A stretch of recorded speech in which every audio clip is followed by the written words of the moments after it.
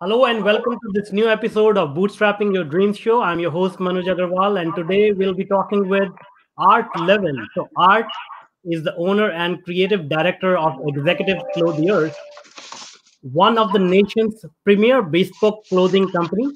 Art has designed for and suited up some of the most successful and powerful entrepreneurs and business people in the world now for over 30 years. His exclusive custom made and ready to wear designs are seen on clients from the international corporate world to Hollywood red carpet events. Some of his loyal clients include royal family members and other famous celebrities like Hugh Hefner, Sylvester Stallone, Robert Wagner, Michael Clarke, Eric Roberts, Terry Crews, Ernie Johnny, uh, Ernie Johnny Carson, um, Steve Allen, Johnny Carson, Bill Maher, and so on. I can go on and on with a huge list here. Uh, Art is considered one of the leading experts on direct marketing, corporate image consulting, and is the leading custom clothier to California's most prominent people in business and entertainment. He has been featured in Los Angeles Times, CNN, Esquire, GQ, My Fox 11, Wall Street Journal, Hispanic Business Magazine, Entrepreneur Magazine, LA Business Journal, and many, many more. Um, Art is also the founder of PBN, a professional business networking group with more than 10,000 online members. Art sits on the executive committee board and chairs the membership committee at the City Club on Bunker Hill, a prestigious members only executive private club. I'm so excited to talk to you, Art. Likewise. Good to meet you, Manuj. Same here, same here. So, uh, you have done tremendously well, uh, especially in the uh, fashion industry. But uh, let's uh, uh, uncover a little bit of your story. How did you get started in this field of work? I started, um, gosh, we're going back 31 years. I was a kid. I was 22 years old, and I was selling pagers door to door. You know, so I was knocking on doors, and I happened to knock on a tailor's door, 1989, way back then, and um, he uh, he uh, he loved what I did and how I I presented myself. So he recruited me in the business way back then. Oh, I see. So, did you have a knack for dressing up well at that uh, age as well? You know what? I've been dressing up. I've been dressing up since I was like three years old. I, I have pictures of me in custom suits. I'm from Chile originally, right? And I, I, can I, I grew up very modest, and we didn't have much. So when you grow up without much, you're somebody in your family is a tailor, and they make clothes for you. And that's kind of how I got started.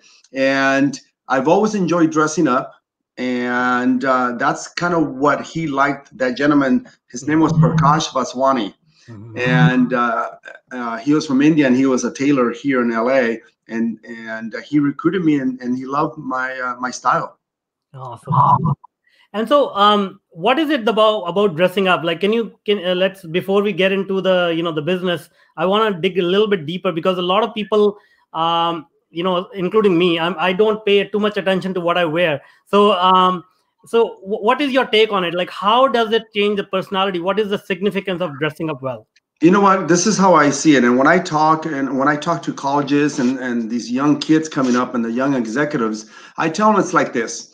I don't know if you've ever bought a brand new car right off the lot of a, of a car dealership but the best feeling is you know you get out of that car and you're driving you lower the window open up the sunroof and you're like wow this is a nice car. And the same thing it goes with a suit or a shirt and, and that's kind of what i do. It's not that i sell clothing i sell the feeling. Yeah. the feeling how good it feels to wear a really really nice suit that fits you better than anything and it, it gets the it gets the the word across. You don't have to say a word when you walk into a room. People know that you're dressed successful. I mean th- there's no doubt about it. Yeah yeah. So uh, you grew up in chile when did you come over to usa I, I, came here in 1977. I was a young kid. I was eight or nine years old. Um, yeah, and we came. My dad came first in 1970, then my mother in 1972, then myself and one of my brothers in 1977, and then I have two more brothers and a sister a year or two later. So it took about eight or nine years before our, our family uh, came back together. Wow. So, was there a, a, challenge in getting assimilated into the U.S. culture and uh, and the language barriers and things like that? Well, the language barrier for sure, because I didn't know a word of English. You know, I only knew knew a couple of things. But when I came to United States, I still didn't know that I was in America. You know, because everything was in Spanish coming from San Diego. San mm-hmm. Diego, that's in Spanish. La Jolla, mm-hmm. uh, and Los, even Los Angeles, Los Angeles, right? Mm-hmm. And so I, I really didn't believe that I was still in America. So it was new to me until I started seeing, hearing people talk, and that's when I really knew that I was in the United States. So it's kind of a need. So I didn't know one word of English, and and I, I have a really good friend till now. His name is Craig Jaffe. He taught me how to speak English. Wow. Yeah. Right. So, uh, what happened then? You know, once you met the tailor uh, who who started probably teaching you how to how to do this. So, what was the next step in your journey there? So what happened? He started teaching me from the basics. Um, from it's it's called a fitting. Okay. So when you go see a tailor, they fit you. They put pins on you. They chalk you up with chalk. Um, that's how I started. And then from there, I moved into sales, and I did very, very well from because my whole background is sales, sales and marketing. And prior to me um, meeting this tailor, I had 20, 25 jobs before that. Wow. I was trying to find myself. I was trying to find myself just because um, I didn't finish school, you know, and I, I was trying to find something I was going to be really, really good at.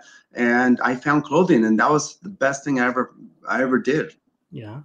So um, tell us how you got so successful at it because you know obviously there are other people who uh, uh, make bespoke uh, uh, suits and clothing but how did you become so so famous and you know work with all these successful people?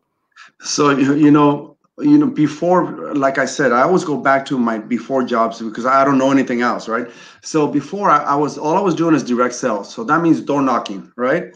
So i was cold calling door knocking and I took that same formula into clothing. So I was calling on really rich people, you know, and uh, just like I was calling a normal person. So I didn't, I didn't have, I didn't have phone phobia like most people do, right? I didn't have that. I just called every single person that was on my list, whether they were a billionaire back then or whether or not. To me, was the same thing, and that's how I started getting a lot of these really wealthy clients from the beginning mm. because I was scared of calling them, and and they were open to it because it was a great idea. I will go to their office and sell them clothing in their office, make it nice and convenient for them, be in and out in 15 minutes instead of two to four hours going shopping. Yeah, yeah. So it seems like uh, you know these rich clients are available to anyone who has the confidence um, and they have something to offer to these people. Will you say that's that's correct? That's correct. Yeah, oh. because you know I, I will listen to anybody who calls me on the phone you know, I want to hear their pitch. I want to hear what they're saying. I want to hear what they're not saying right. You know, um, and and I, sometimes I tell them, I said, listen, this is what you did wrong. That's why I'm not right. Yeah. But it's they. I hopefully they appreciate it and learn from that. That's how I did it. I mean, that's how I learned. And I was just, I was, I was a prospecting, selling machine. That's all I did all day long. Prospect, prospect, prospect. That's and uh, and then the referrals started coming in. That's great, and uh, I can attest to that because the, when I invited you to the podcast, it the conversation was about a minute and you asked me bam bam bam okay you know what is it about and and you're like okay yeah let's do it yeah i mean that's how it is you know because with these guys these the the wealthier they are the less time they have right so i try to get to the point right away and i learned that because for 31 years all I, all my clients are successful so i learned how to deal with them some clients tell me all right you got four minutes as I'm measuring them the elevator going up to their office. so I've done it in an elevator. I've done it. I I dress. I fit people in a bathroom. You know, they give me four minutes. Yeah. You know, I remember when that one client told me you got four minutes. I'm like, whoa, okay, let's do it. you know. All right. So, um, why bespoke clothing? Because you know uh, the world is moving towards mass market and you know ready-made clothes and everything. So, sure. what what is your take on that? You know, uh, mass market produced clothing versus bespoke clothing. Well, the, the reason I went bespoke is because it's a it's a niche. It's a it's a very specialized niche. Just like Ferrari, you know, they have four hundred thousand dollar cars. They have a great market. Rolls Royce, right? All these high end cars, high end high end homes. You know, it's there's a market for that. It's not for everybody, but I don't care about everybody. I just care about the one two percenters. Yeah, yeah. That's yeah. that's why I go after. So, um, but is that does it contribute the the fact that it is bespoke? Does it contribute to the status to the to the the way they present themselves? Yes. Yeah. yes. Yes. So it's a status thing. It's like wearing a rolex. It's a status thing. Um, you know it's it's when when you when you reach a certain level it's uh, you buy things just to buy them, and because it's a status thing. Um, I remember going back 20 something years ago, I bought my first Rolex, and somebody told me, buy yourself a Rolex. You know, you'll see a different clientele. And sure mm-hmm. enough, because now I could spot a Rolex from 30 feet away. You know, I could spot a really good watch, and and it's not. I'm not trying to brag here, but I'm just trying. To, I'm just trying to express what fine things do. And as you grow in life, and as you grow financially, people see that. You know, the value, the value. And how, how has your craft changed? Have you um, started adopting new styles, or have you adopted uh, new fabrics as you have started working with these uh, these uh, famous people? That's a, that's a really good question because I study every day. Mm-hmm. Every day I study. I drive my I drive my wife crazy, but that's that's me. I mm-hmm. can't help that. So in order for me to keep a, keeping the edge of what I do, the best of what I do, I'm the best. I have the most knowledge than I think any of my competitors because I study every night, no matter what. Every night I study, and I've been studying for 31 years. So, so I, have a, I have my PhD, my MBA in bespoke clothing. You know, that's awesome. So when you when you say you study, like what? Could you give us a little bit of a uh, behind the scenes look of what exactly are you looking? Because a lot of people, you know, I, I notice when they get successful in a particular field, whether that's uh, you know uh, their professional job or their business, they start to get complacent and they're like, you know, uh, they're not ready for a for you know the kind of crisis we are going through today so I'd love to dig a little bit deeper into your methodology. Like, what is it that you study? So what I study, first of all, is the styles, right? The styles change all the time. Uh, what I my are in in the bespoke world, we type we like to keep our, our clients uh, timeless and classic. But mm-hmm. still, so, timeless and classic means we could still make the suit a little slimmer, not as baggy, right? So that's one. Two, the fabric. So my mill came out with a with a fabric right now. It's a COVID, a COVID um, uh, what do you call it? It's COVID proof. So they put they put some sort of chemical on the wool that it prevents from from from saliva or anything staying on your suit, so it goes away. Kind of, that's kind of really really neat. Um, same with the mask. We have water repellent masks, so nothing sticks to the mask. So everything we're coming out with new new things that that clients enjoy. Wrinkle resilient wool, which means that it's a high twist wool. I don't want to get technical because it's really technical. It's a high twist wool that you can roll it up, drive with it. I drive with my suit on every single day. I don't take it off. I don't take off my mm-hmm. coat. So at the end of the day, I still look as fresh as I did at seven in the morning. And mm-hmm. it's it's called wrinkle resilient. It's it's unheard of in the in, in the suit industry. Most wool wrinkles and ours doesn't yeah, yeah. So every, every, it could be everything. It could be it could be the way that the lapels hanging. It could be the the pockets. It could be. I study everything. So that's that's how I study that. That's great. And, and sales and marketing, and uh, you know, I, that's another thing I noticed. Most of the successful entrepreneurs they are really good at marketing and sales. So, uh, yes. what are your views? Like, uh, how has um, that aspect of business changed over the last thirty years? You know what? We're we're still old school, and, and since I've learned how to market, prospect the old school way, you know, knocking on doors. I don't do that anymore, but I have people that do that, calling on the phones, making appointments.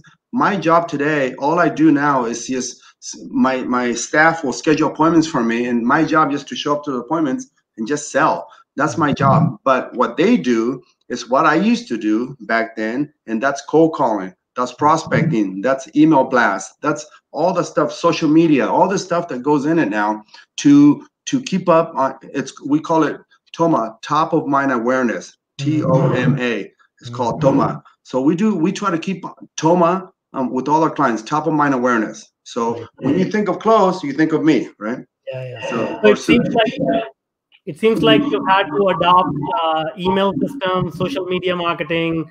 Yeah, absolutely. Yeah Okay. Yeah.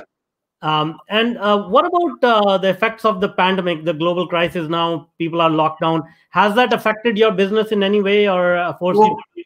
In, initially, initially it did because every everything was locked down. There's nothing we could do. It was out of my hands, out of my control. I'm kind of a control freak as it is, but this was out of my control. I, I couldn't do anything. My my the buildings where we lease uh, uh commercial property from, they closed the entire building down. So we couldn't even get into our building. So I was shut down for about four months. But in those four months, what I did, I just pushed my online sales higher. So that's what I concentrated on, and that's kind of what what we did. So we kind of shifted a little bit. So, as an entrepreneur, you have to be flexible and understand exactly what is going on in the marketplace and make adjustments. You know, Manuj, uh, you you I got lost you there for a second. Say that again. Uh, so I'm saying, uh, as an entrepreneur, you have to be flexible and make sure that you can understand the market conditions. And absolutely, you have to be flexible in everything you do. You can't just think one way because that one way, if your focus is driven on on one way, it's not going to work. It might work for a minute, but you're going to have to switch. You know, yeah. so you have to be able. You're very very um, uh, flexible. Mm-hmm. And um, seems like you've been in a uh, in the business for a long time, and you may have seen other crises. I mean 2008 financial crisis 2000 uh, you know dot com bo- uh, bubble. So um, uh, you know bespoke clothing obviously is a very price sensitive i mean it's related to the price and uh, overall economy. Um, when these kind of shifts happen how do you how do you stay motivated? How do you stay focused and how do you motivate your team to keep going? You know that's it's a great question because that's it's a very hard thing to do but i'm very motivated myself you know it's and i'm very enthusiastic and as we all know enthusiasm enthusiasm is contagious.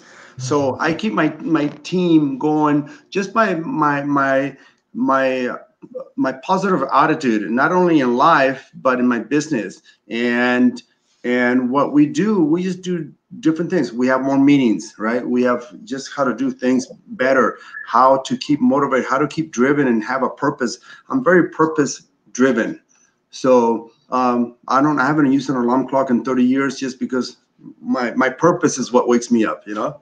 Uh, and so, um, what about? Let's talk about your um, uh, the the professional networking group that your business uh, uh networking group that you have found. Can you tell us a little bit about that? Sure, sure. So in the 2007 2008 crisis, the the uh, the real estate recession, um, that hit everybody hard, including me. It, it hit me a little bit later, it hit me in 2008. So in 2008, I saw my business just going down and down. So I had to create something, recreate myself. Remember, we were talking about that earlier. So I had to recreate myself really, really quick and be flexible. So what I started doing, uh, I was a member of a private uh, private club in downtown LA. It's called a City Club. It's a high-end um, uh, private club. And so what I started doing, I started having lunch there for selected people. So if you could afford a hundred dollar lunch, that was kind of like you could afford my my suit, right? So what I created, I created professional business network like that, and then that lunch with ten people, it grew to fifty, and then a hundred, and then it was it just it's it's like having a virtual sales team. So having a virtual sales team, so that group, everybody from that group, I only allow one per category. So only one plastic surgeon, one doctor or, or one uh, one attorney from a specific field. So one eye doctor, one dentist. So all the leads that came through that, we gave it to that person, and we're exchanging about eight hundred thousand dollars a week in leads. Wow. Yeah, I mean through the whole group, you know. So if there was a real estate person, they made a million dollar sale. That's their stuff. We don't make any. We didn't make any commission. That was just part of being part of the PBN. I see. I see. So now, uh, from what I understand, you have ten thousand members. There's a, yeah, there's about ten thousand online members now. Wow. And so, how does it compare to other groups uh, like you know uh, BNI and uh, and similar uh, networking groups? Another great question. I studied BNI and I studied LeTip. So they have meetings at Chili's and in Denny's. I don't know if you know, I'm familiar with those restaurants. Yeah, right, yeah. you buy a steak for eight dollars. No, yeah. that's not what I want. Those those guys can't afford me, you know. So that was the wrong. I was look. I was I was looking at them because of the network effect. You know, networking is really really important in any business, but I don't want the people that could afford only an eight dollar steak. I want the people who could afford a ninety nine dollar steak. Yeah. So that's why I created my own, and I created high end because that's what I wanted. I wanted to attract, and that's what they wanted. So uh, it seems like you you have a you know you have a flair for building things and growing them uh, from the ground up and you you've done it multiple times. Uh, can you uh, help us uh, or help people who are who are maybe they are at the beginning of the journey or they want to reinvent themselves due to this uh, global health crisis? What is your process of you know coming up with an idea and then sort of implementing it? Because as you know ideas are dime a dozen but execution it uh, is where it uh, makes the difference. So what are your secrets to success in, in terms of execution It's, it's really simple. It's take action. Really simple. You know, I've come up with thousands of ideas. I still do. But, you know, I still focus on one thing, that my primary business, which is clothing. And then from there, I take it from to other businesses and other investments and real estate and stuff like that. But I always tell people, you know, they I get people calling me every day or coming up to my office every day saying, Art, I got a great idea. Da, da, da, la, la, la. I say, what what are you doing with this? I said, Well, I don't know. I haven't I said take action. Some people want to want to have the perfect business, right? Or they want they have a perfect plan. There's no perfect plan. You just have to go for it. And most people are scared to go for it, and that's where they fail. So I Yeah. say just go for it. You know, go for it. You cannot be perfect. You'll you'll fix yourself along the way. So and you'll learn what not to do along the way. But taking action is the most important thing that's that's been my number one success tool. I see. So um, I absolutely agree with that. You know, action is uh, where it is. But um, when you take action, you also make mistakes. You run into uh, you know difficulties. You run into disasters sometimes. Um, so can you share some some of these kind of experience? Like, have you run into any disaster scenarios or or anything like that? You know, I I have. Let me tell you something. I, and I, I I bought a home a long time ago, right? And this is what I did. I took action. I destroyed everything in my home because it was an older home. It was an investment, and I just jackhammered everything, right? Uh-huh. and uh, I jackhammered the bathrooms. So I didn't have bathrooms. You know, I said, oh, well, what do we do? We get a hotel, right? So that was just one example, and that's how I, that's how I do it. I go for it. If I make mistakes, I fix it and continue going. I see. And what about um, you know I- I've I've been to your website and seems like you have put together a dream team uh, to be able to reach that kind of success. You know I, I believe you have to have a very strong team to support support you and and be able to uh, you know um, uh, be champion of the ideas that you are putting out there, right? So what are your what are your theories about hiring, finding, hiring and retaining top employees and and team members? You know, the those team members that you saw on my website, I've had them for years. Um, some of them are some of my best friends from way back. Um, most of those people, they've been working with me 10 plus years, and I take care of them. Well, I treat them like family. You know, we go and have lunch together. We have go, and anytime they, they're around me, they don't pay because I take care of everything, and I treat them like family. So you know, it's like I'm the godfather of my little family, right? So I I I I take care of on their birthdays, and and I love. how- If it wasn't for that team that I have now, I could not be where I am today. It's super super important. I couldn't do all of their work. I used to, not anymore. All of their work because it's you know I can't now. I need I need that team, and for me to need them, I take care of them. Okay. Um, so one of the questions I asked because I I grew up in India and I uh, migrated over to North America. Um, uh, and you know every uh, guest who comes onto the show who has lived in multiple parts of the world, I ask them, uh, did your cultural background contribute to, to your success? Uh, having a different perspective, living in different parts of the world, how did that um, help you in your in your career?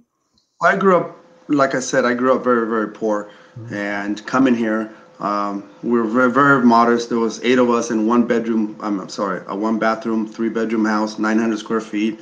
So I had friends that lived in mansions, and I think from early on in high school, or maybe even a little bit younger, my friends, I I used to dream. I said, man, how come my friends have those big homes? And that's how I started. I think my first girlfriend was like 14, 15. She was she came from a very wealthy family and had a huge mansion. And then they took me to nice restaurants, and that's what I enjoy today. It's uh, nice restaurants, uh, nice homes, nice cars, but it, it kind of put a really a drive in me, and that drive that I have, it's undeniable. If you met me in person, you could tell. You could, I, you know, I'm like a magnet. You know, you you could tell my drive, and that's what people tell me all the time. It's like, how are you so driven today, 31 years later, more than you were 31 years ago? It's just today. It's not about money anymore. It's about being the best that I am in my business. I see.